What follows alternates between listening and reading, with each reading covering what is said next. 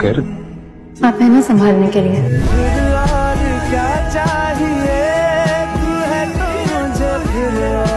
क्या चाहिए किसी की मदद